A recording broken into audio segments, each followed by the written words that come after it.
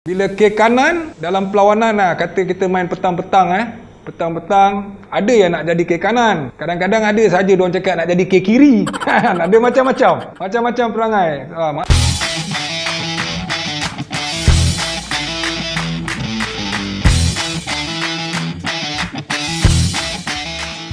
Okey.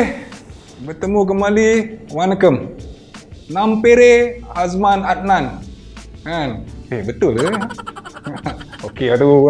Okey. Assalamualaikum warahmatullahi wabarakatuh. Okey, sebelum tu subscribe channel The Azman Adnan uh, dan jangan lupa eh kalau iklan jangan skip. Alright? Jangan skip. Terima kasih kepada yang menonton tak skip iklan dan yang dah uh, subscribe saya ucapkan terima kasih juga. Alhamdulillah yang belum dipersilakan subscribe channel The Azman Adnan. Dan hari ini saya akan menceritakan 6 pemain berbangsa India yang pernah bermain dengan saya. Dan tentu jadi rakan karib saya lah. Number six. B. Rajinikan.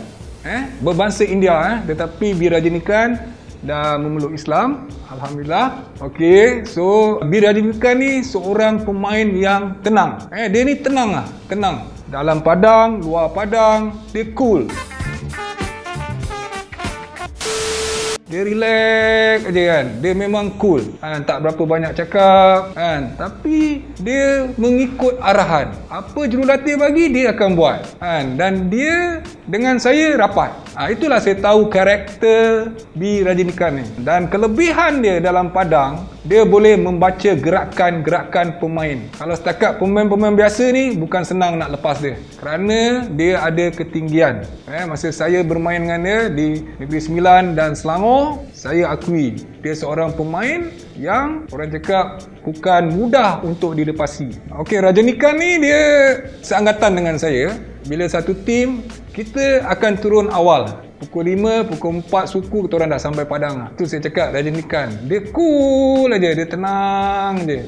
Cakap pun tak banyak kan? Ha, dia ikut dia arahan. Ha, dalam padang pun sama. Dalam padang dia nampak tenang tetapi bahaya. Dalam padang baru kita nampak karakter dia. Ha, garang karakter dia tu macam harimau. Ha, baru kita nampak. Tapi kalau kita duduk personal dengan dia nampak dia tenang je. Rajinikan ni dia mempunyai kelebihan. Dia boleh kontrol bola dia boleh dribble. Maksudnya kata dia dapat bola dia boleh bawa bola tu sampai ke tengah. Mana keyakinan dia tinggi. Ha, ni kelebihan Rajinikan. Ha, yang lain saya tak perlu ceritakan lah. Sebab dia ketinggian dia memang dia tinggi. Ha, heading dia memang terbaik lah. Ha, itu yang saya boleh katakan. Number five. Okay, Gunalan sudah semestinya seorang pemain yang menjadi tunjang di barisan pertahanan pasukan Selangor. Semua orang boleh kata era tu kenal lah K. Bukan saja dalam pasukan Selangor tapi dalam pasukan Malaysia. Kan K Gunalan merupakan seorang pemain yang orang cakap uh, smart, keras kan dan berkarakter. Uh, itulah K Gunalan. Kelebihan dia banyak. Dia boleh tackle cara teknik yang betul. Cara teknik yang betul maksud saya dia boleh tackle dengan bola dan dia dia boleh tackle dengan cara kotor pun. Uh, itu kelebihan K Gunalan. K Gunalan ni dengan saya memang rapat. Eh, memang rapat sebab dia di barisan pertahanan dan saya di barisan serangan. Ha, jadi communication kita orang tu sentiasa. Ha, bak kata Asrul cakap sebelum ni, ha, saya akan cakap orang bertenang. Atas saya punya kerja. Ha, itu yang berlaku dengan K Gunalan. Sebab saya yakin kalau K Gunalan ada, barisan pertahanan lagi tersusun. Sebab boleh dikatakan tahun saya tu, pemain-pemain yang ada mempunyai, mem, mem, mempunyai ini biningi. Kualiti masing-masing. Setiap pemain ada kelebihan masing-masing. Termasuk K Gunalan. Kalau dengan bola heading, crossing, ah, dia akan pergi lah. Sebab dia punya size dia yang tinggi. Dan dalam masa sama, dia seorang pemain yang keras. Number four. Pemain seorang ni, bagi saya adalah pemain senior saya. Saya masa tu remaja lagi dalam pasukan Kuala Lumpur. Semua orang era tu dia tahulah. Ke kanan berganding dulu dengan Fandi uh, dan Malik Awak. Tiga striker daripada Singapura. Jadi saya dapat masuk bermain dengan kiri kanan. Dia tak tinggi, dia tak besar. Sizing dia secukup-cukup rasa. Nice.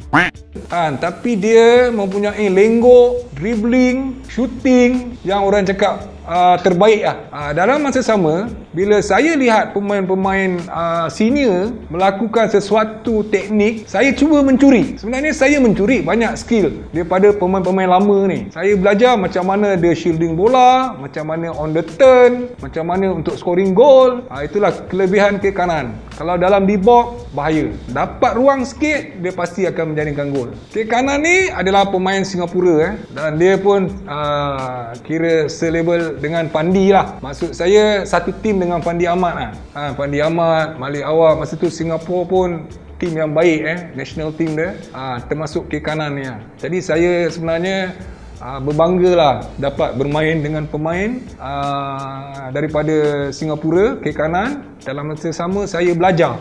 Kalau nak tahu kan kelebihan ke kanan ni memang popular masa era tu. Kata setengah orang uh, kalau kita orang tu uh, dapat lihat dekat flat bila ke kanan dalam perlawanan lah kata kita main petang-petang eh petang-petang ada yang nak jadi ke kanan. Kadang-kadang ada saja dia cakap nak jadi ke kiri. Ada macam-macam. Macam-macam perangai. Uh, maksud saya dia kira seorang pemain yang terkenal lah. Kalau orang boleh sebut ke kanan ke kiri kan. Uh, jadi dia memang mempunyai uh, peminat tersendiri. Kalau nak sewa iklan dekat sini atau bawah ni atau eh eh eh, eh dekat sini atau dekat sini boleh rujuk nombor di bawah. On tak on?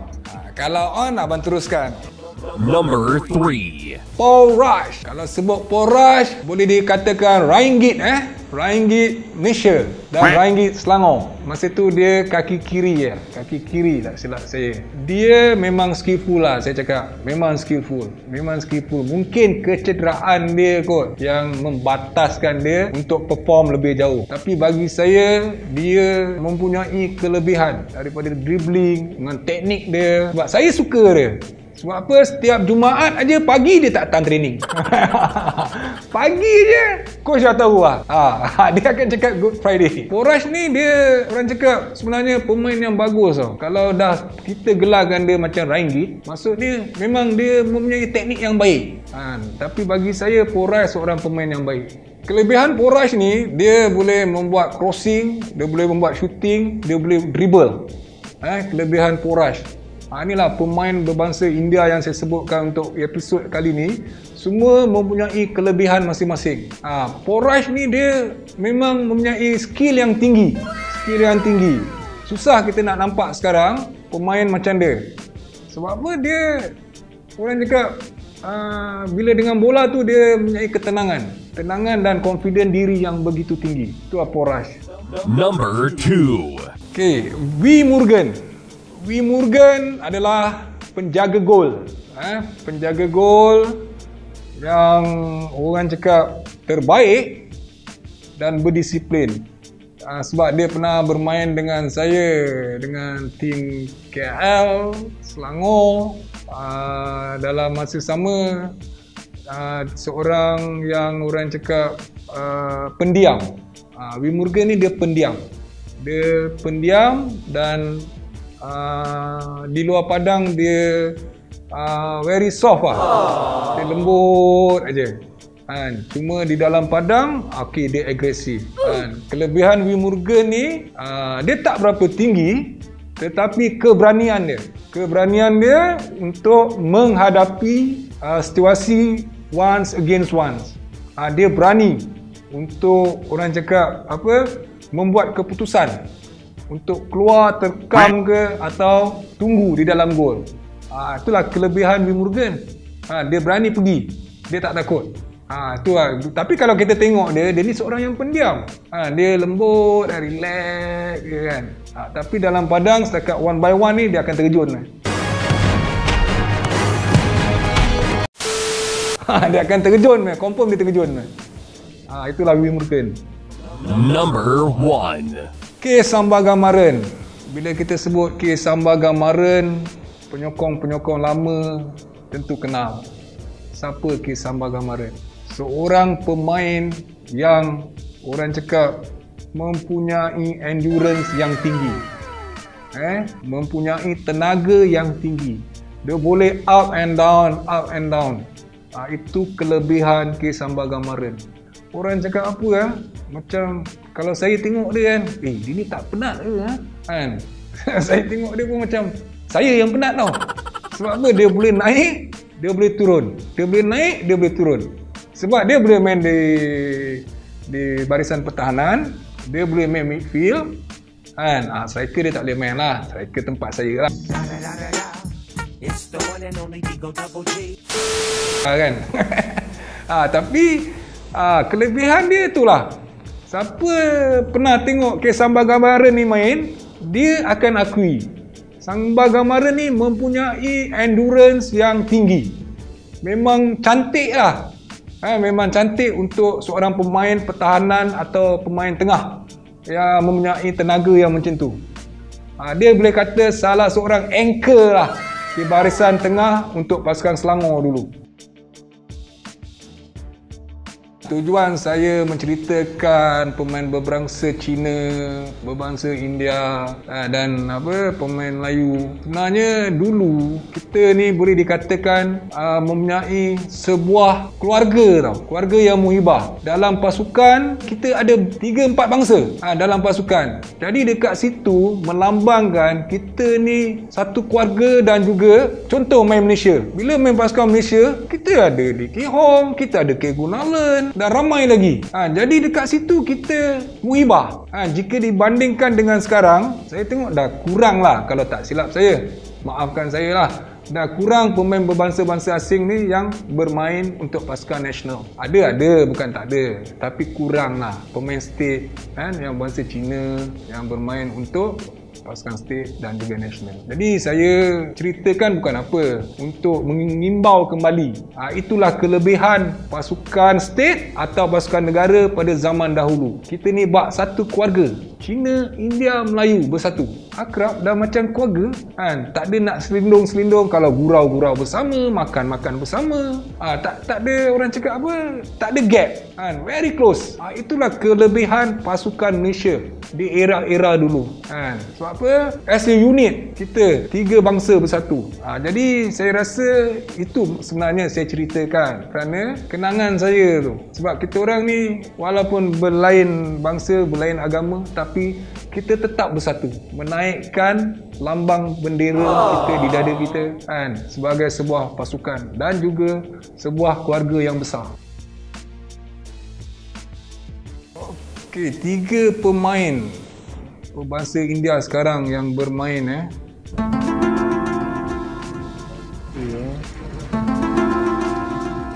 Alamak, patut abang Google dulu sebelum datang ni kalau tahu soalan ni kan.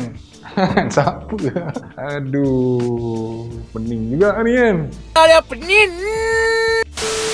Abang, alamak, memang abang tak tahu lah. Kan? Memang tak tahu lah. Siapa lah? Sekejap, sekejap, sekejap. Abang tak mengalah lagi. Sekejap, abang fikir dulu. Okey, abang surrender. abang surrender. Memang abang tak tahu. Minta maaf. Minta maaf banyak-banyak eh. Kepada peminat.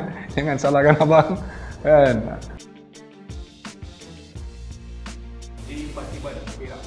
Okey. Pasukan Perak eh. Alright, alright, alright, alright, alright. Eskunalan. JDT. Ya, yeah, betul, betul, betul, betul, betul, betul, betul.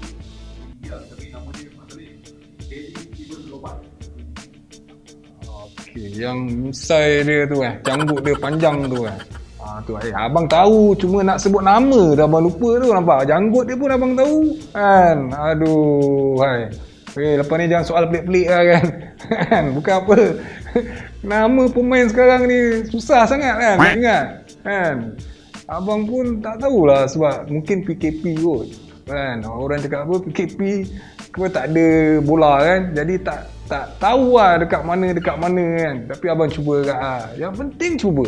Sebab Syarin Majid kata percaya diri.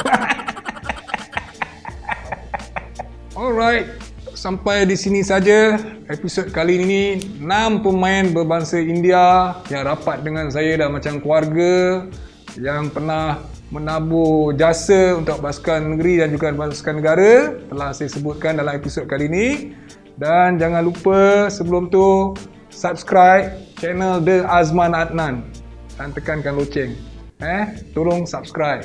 Okey kepada peminat-peminat semua uh, jangan lupa next episode. Kan uh, kali ni mesti gempak ni. Uh, sebab apa? Pemain yang banyak sangat eh dalam abang punya DM dalam grup abang eh dalam kru-kru orang minta dia ni datang. Uh, next episode. Tunggukan kehadiran dia. Alright kita jumpa lagi. Bye. Subscribe channel The Azman Adnan